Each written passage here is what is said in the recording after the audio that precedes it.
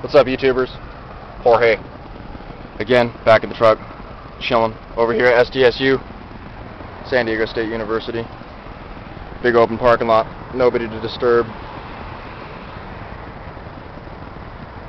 If you can't see I'm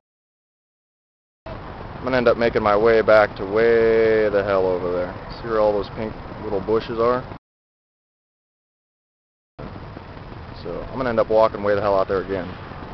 But uh, so here's uh, here's how loud the mids and highs get with some rock. Change it up a little bit instead of the rap crap that I always play. Which rap ain't crap, but just a little change of pace. This is gonna be uh, this is gonna be etched in red. This is a San Diego local band. Um, they tour all over though. Well, they don't tour, but they uh, they play all over in, in different venues. Usually toward the west coast, but they they have been on the east coast here and there. Um, like I said, this is etched in red, and the track is called LED.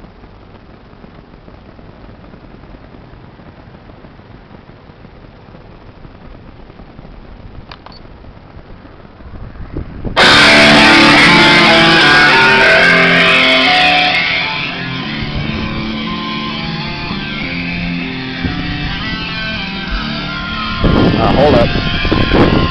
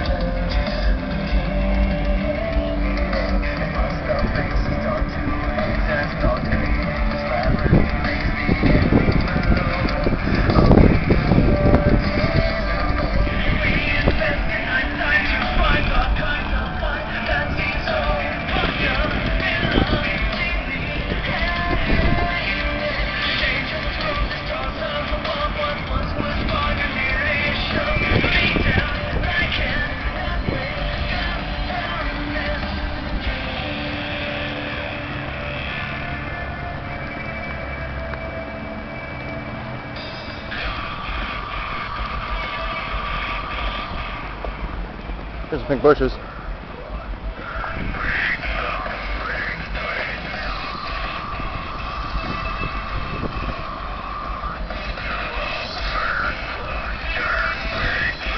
I sure hope it's picking up over this wind because it's kind of it's kind of freezing a little bit over here. I hope my camera mic isn't going.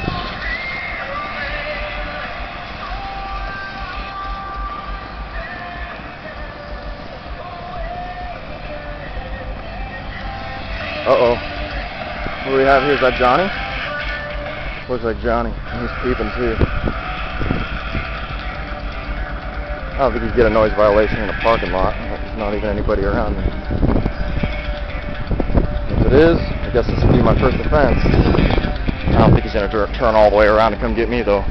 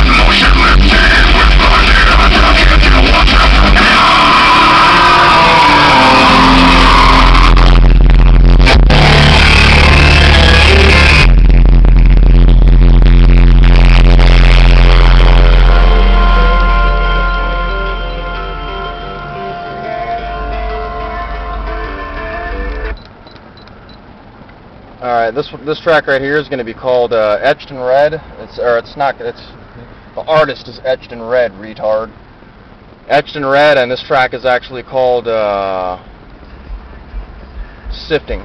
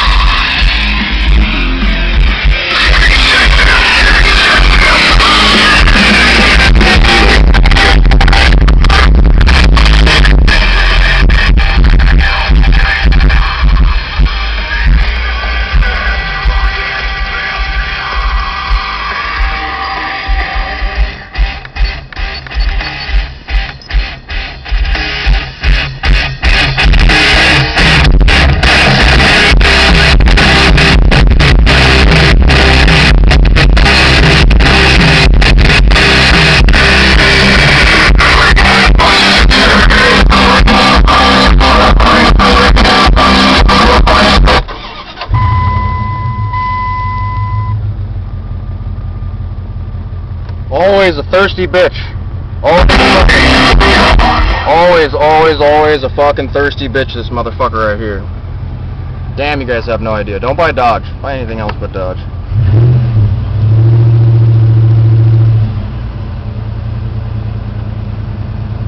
Alright, my batteries are hurting again. I mean, I've been blasting on this thing without my truck running for quite a while, so I'm go back to the house and throw her back on the charger. I pulled it off the charger. That's why I had such a good flex today because I actually had my voltage up. But like a dumbass, I didn't start my truck. I mean, I probably could have gained another half a volt or so, but ah, I still actually need to do some wiring up underneath the hood too.